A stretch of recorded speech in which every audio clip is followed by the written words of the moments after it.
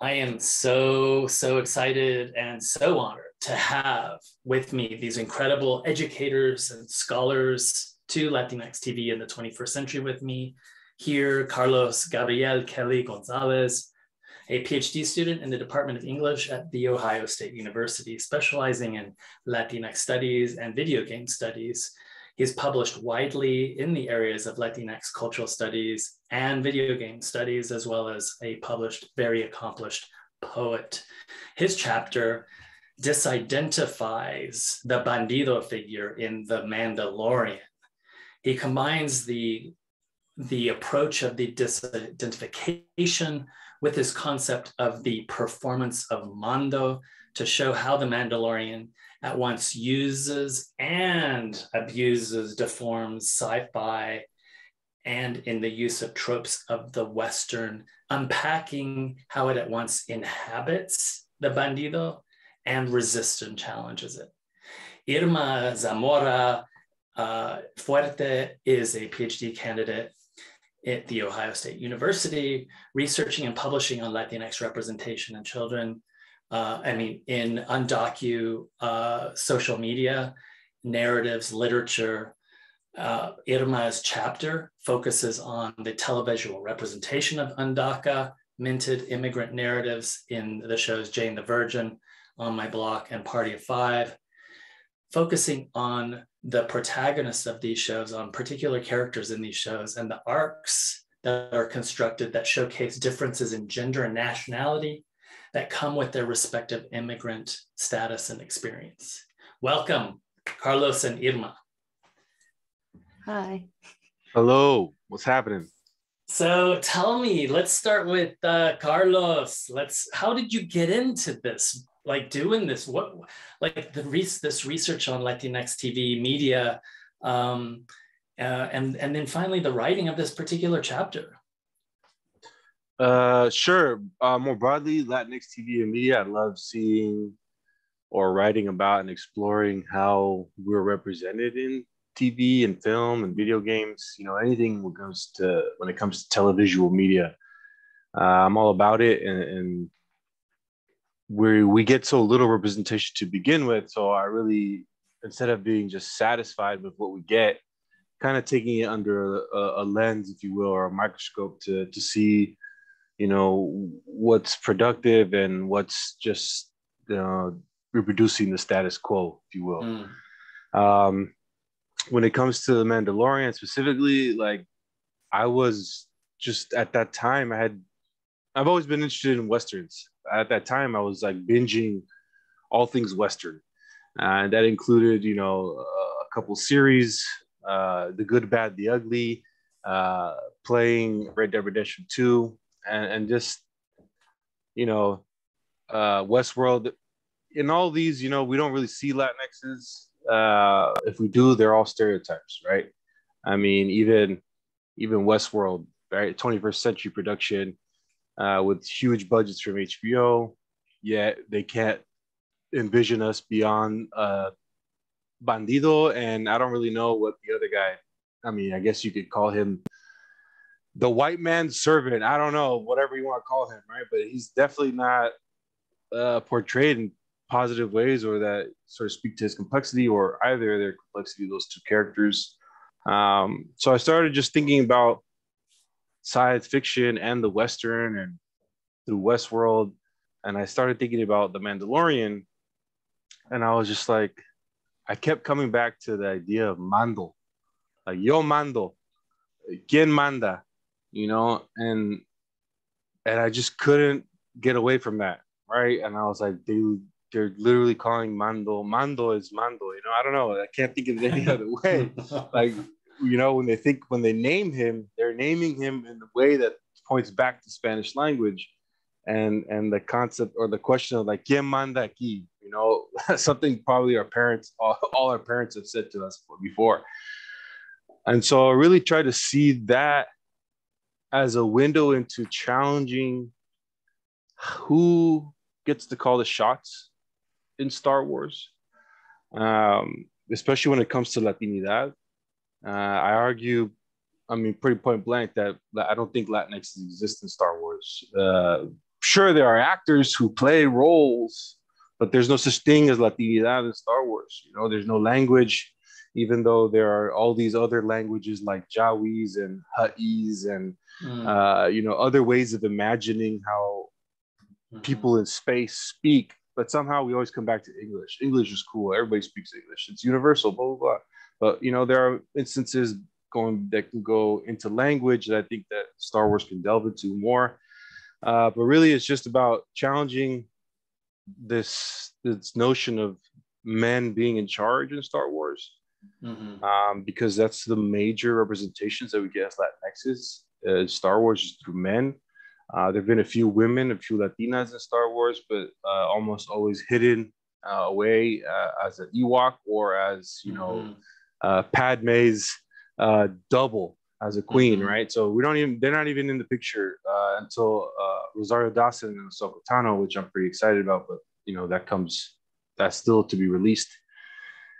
So I really try to mm-hmm. think about, you know, can we expand who calls the shots in Star Wars, and somehow can we, uh, instead of you know, uh, including Latinxes without Latinidad, is there some way for Star Wars to imagine a world where you know Latinxes are, you know, there and mm-hmm. with, through our infrastructure, through our architecture, designs, etc., whatever countries inspire those.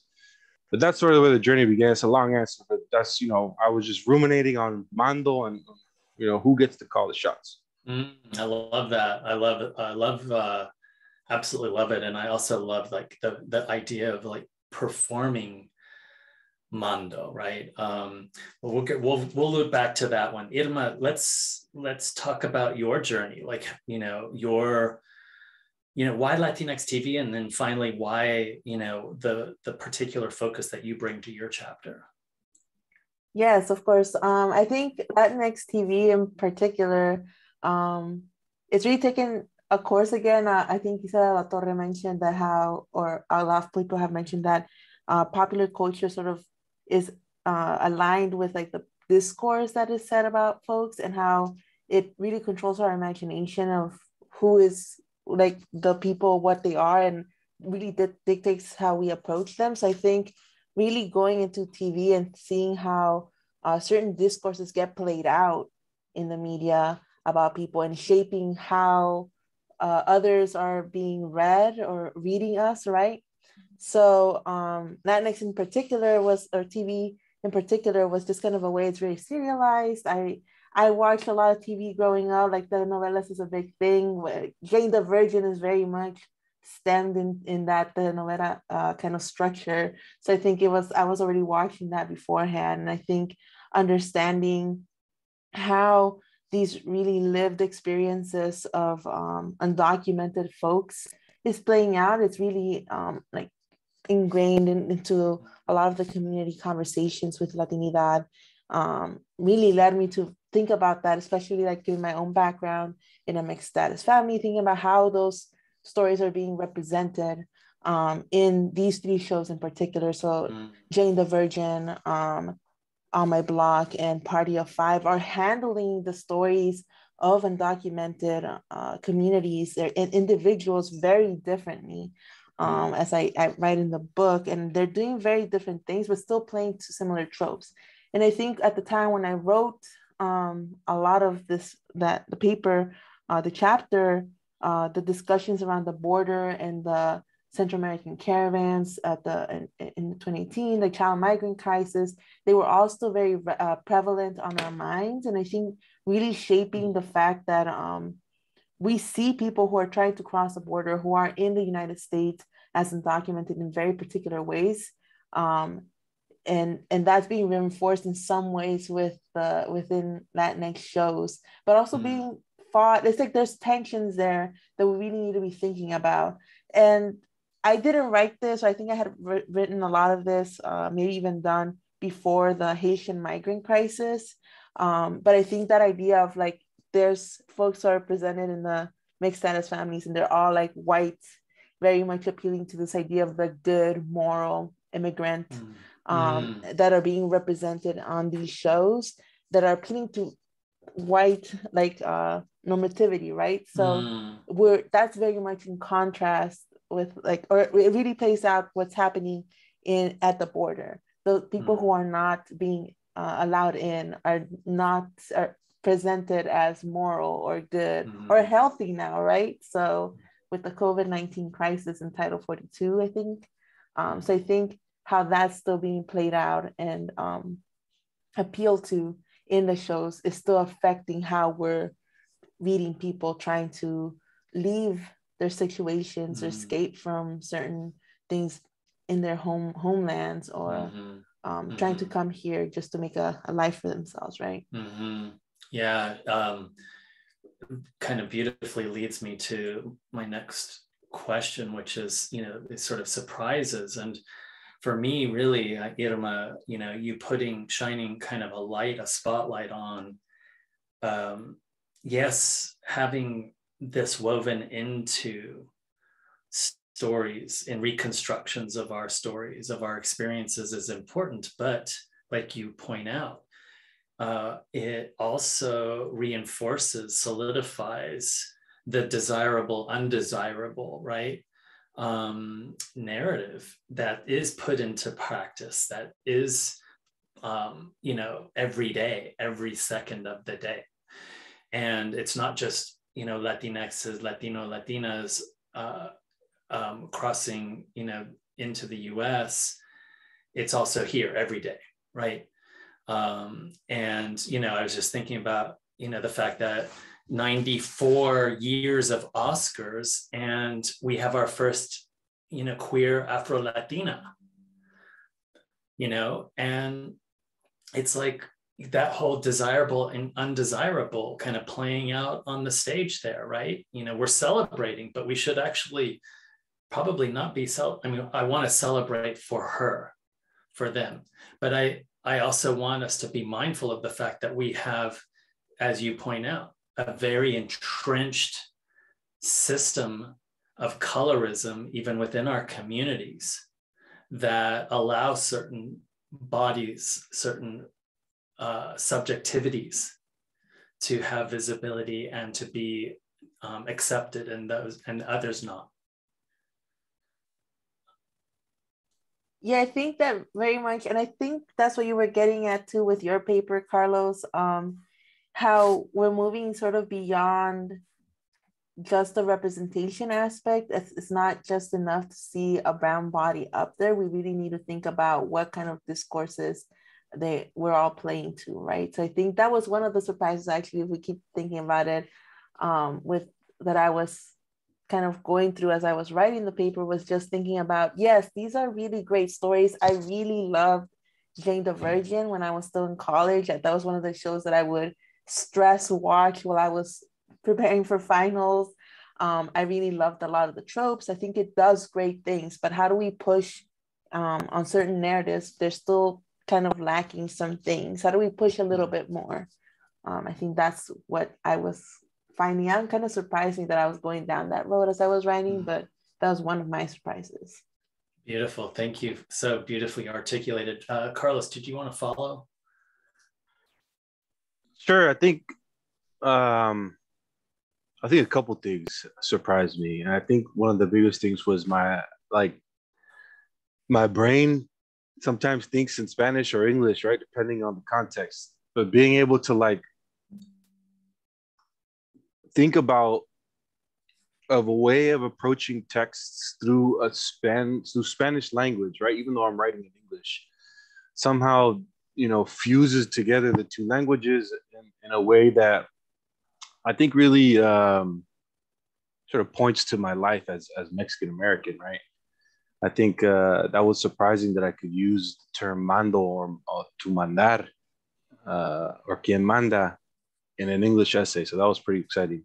Mm. Um, two, also just thinking about uh, sort of the some of the historical work that I did, looking at how Latinx is uh, resisted through, you know, not being protagonists, but you know, through how they took up space or, or on the in the in the angling of the shots, right? To I think Charles Marias Ramirez Berg does a, a great job uh, highlighting an actor. Uh, I forget his name. Sorry, um, who who did that. Right, he wasn't he wasn't allowed to take up the space as a protagonist, but he the way he dressed, uh, the way he uh, took up space mm-hmm. on screen, uh, allowed him to capture uh, the attention of viewers and audiences. Right, mm-hmm. and so I just think too, looking at our our deep history within science fiction and and and westerns and yet you know i guess not being able to see us as protagonists until sort of the mandalorian right and and that's why i also you know just kind of speaking in general now uh, i also love when latinx's are in star wars because it shows us as borderless as intergalactic as as having the ability to to you know transgress spaces and laws and all these ways of viewing us uh, which is why i see so much hope and possibility in star wars stories involving latinx's um, and which is why i get so upset that they don't make more concrete efforts to include latina mm. like it can't yeah. just be making you know Oscar Isaac's character, a spice runner. Like, why? Mm, no, mm-hmm. why is it got to go back to criminality? Like, I don't need that. Mm. I don't need, uh, you know, what's his name? Uh, he's like a shifty arms dealer. Uh, names escape me. Uh, but he's a shifty arms dealer in, in the new prequel, um, Benicio del Toro, right? And so it's like again, like we we exist in ways in Star Wars that, to build off Irma's point, that reproduce and only build from the discourse that sees us as criminals, hmm. right? Like that's all. And yet we have so much to offer, but this is where people see us, right? In these little boxes. And and I think I mean to get to your point, Carlos, like sci-fi is this one like realm where like everything is possible, right? So why can't we be using like pushing for more possibilities for Latinos on screen, like beyond what we are right now, escaping those uh, boxes, move away from the box, as you kind of hinted. It's like sci-fi should be that one place, but it seems to be still going to those tropes. Mm-hmm. Beautiful. I mean, so important. All everything that you've both been sharing with me. Let me ask you. Um, in the classroom? How do you bring these concepts? How do you bring your students around to these concepts? Um, how is latinx televisual social media kind of interrogated critiqued um, in constructive ways in your educational spaces? Irma.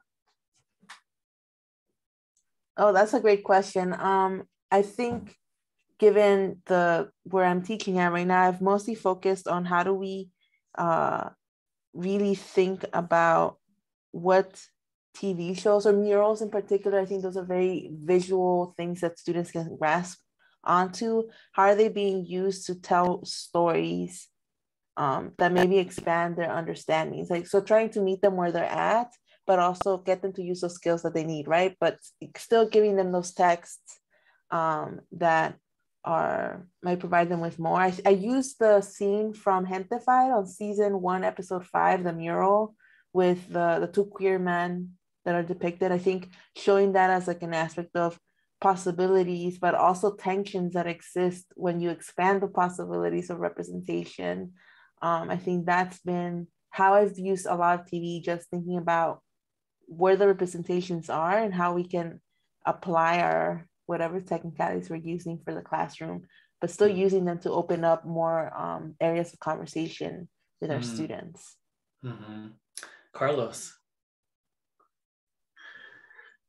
Yeah, I think, um, well, this semester I taught video games again, and we look we looked at stories, or we looked at it.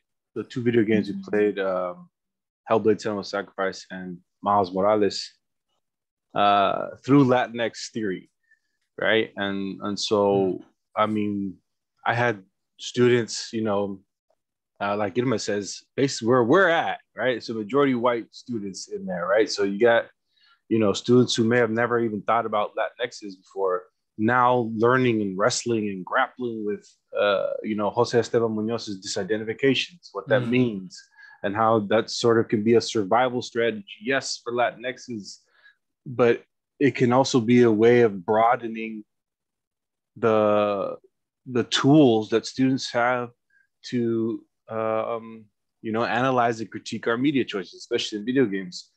Uh, one of the things too I, I, I, taught and continue to, to think about uh, Christopher Gonzalez's permissible narratives. Um, mm-hmm. Thinking about you know what is permissible for Latinxes when it comes to TV, when it comes to our stories uh, about us uh, on you know in TV, film, and video games. For me, in video games, um, because it's sort of what's present on my mind.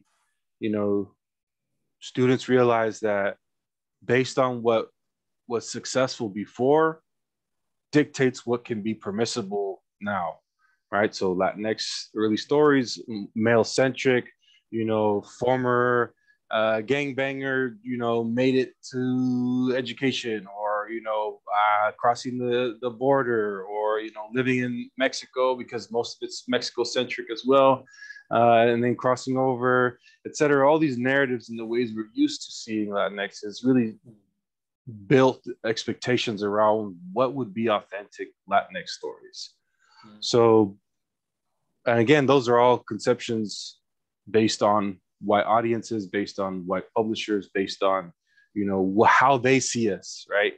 Uh, I think uh, Tropicalizations is a great book to sort of think about that too. Uh, but you know, we think about what's permissible, and so we think about uh, Miles Morales. Like his story is not permissible without Peter Parker. Uh, we don't like. Why do we need Peter Parker to tell Miles' story, both into in and into the Spider Verse, the film, and the two uh, two video games where Miles Morales appears.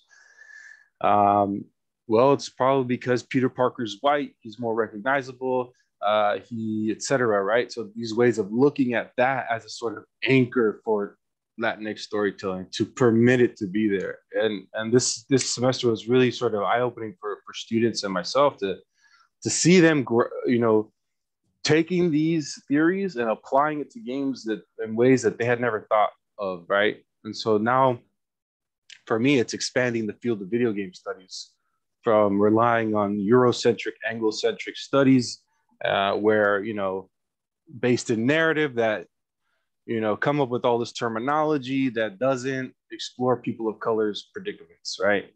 So you tell you you think about how stories are told, but you don't think about how stories are told when and when and about uh, you know, marginalized communities. Mm. And so this time with these with this group of students, I seen how uh, successful Latinx studies can be uh, as a way to theorize our conditions. You know that it's not just about yeah, it's, it's concerning us as Latinxes, right? But everyone should think about Latinx studies because of how it deals with border positionalities, because of how it deals with privilege and citizenship, because it deals uh, how we're talking about, you know, how male focused uh, it is when we think about TV and, and film and video games, how most of those stories are about men. You know, so having them see and question what is permissible really has been um, sort of, uh, it's really been fruitful in, in the mm conversations that we've been having this semester. Wonderful. Well, look, um, I want to wrap this up. But my my final wrap up question: uh, Is there a TV, a Latinx TV uh, show, um, or webisode, or platform um, that's particularly exciting for you today? Um, I know we we cover a lot in our volume, or and it's like an extraordinary volume. Um, but it's there's something out there now that has kind of really grabbed your attention. Um, Irma? Yeah, um, I think really Gentefied has been Gentefied and Vida, which are kind of similar uh, shows, but very kind of differently positioned. Um, they are both doing very interesting things. I've seen a lot of Gentefied. I finished the two seasons, and I think that one opens up a lot more in terms of representation. Um, opens up what Latinidad can and could be, um, both on the screen and off the screen, and thinking about representing queer Afro Latinos, um, really thinking about that triple consciousness that's theorized within Afro Latin Afro Latinidad study. So um, even undocumented narratives, who gets to get their um, story te- told and how can they tell it?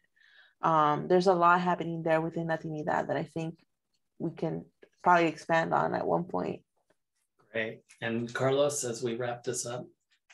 Sure. Uh, I think I agree. Gentefied was amazing. Uh, I'm hoping that, you know, it was canceled. So I'm hoping somebody picks it up uh, and continues to tell that story, right? Because it does, I agree, it shows the tensions uh, uh, within Latinx community, shows our perspectives, but it also shows how we mess up too. Mm. And, and I, I think that uh, I really like that, right? Because, mm. you know, we're, we are complex. We're not a monolith uh, and, and we uh, can mess up and we can exclude people within our community. So I think that it shows that too. Um, one, because it's related to video games here, I, I uh, and it's released actually in episodes format, and it kind of plays out like a TV show. It's called Life is Strange 2. And you know, in these stories, they're they're pretty famous for uh, providing queer possibility for for their characters and so it's just interesting to see uh, a, Lat- a, Latino, a Latinx man, uh, perhaps in, uh, be queer in a video game because we often don't get queer men in video games. We often don't see that, right? Um, but it also tells a story through episodes where it's not about winning. It's not about you know getting better gear anything like that. It's about moving the story forward with these two brothers, these Latino brothers, right? And they have to go through you know being thought of as criminals there's a whole there's all these tropes right that make it you know it's productive and also counterproductive at the same time but uh, uh, i think it's one that we can also look to for what's possible in video games. Uh, sadly um, you know the game was created by two french white men but it appears that they did their homework and they went around and studied uh, you know and took you know testimonial from people in the us to see you know how immigrant uh, narratives sort of play out here, uh, and they took inspiration from from immigration crises in, in Europe as well. So I think that it's valuable in how it positions players to navigate the game sutured together with a Mexican American, which is almost near impossible in video games. It doesn't happen. Mm-hmm. mm-hmm. Well, look, I want to thank you both for gifting us here in this space your incredible insight and your wisdom, your expertise, and also, of course, for your incredible contributions to Latinx TV in the 21st century. Thank you, Irma and Carlos. Thank you. Thank you.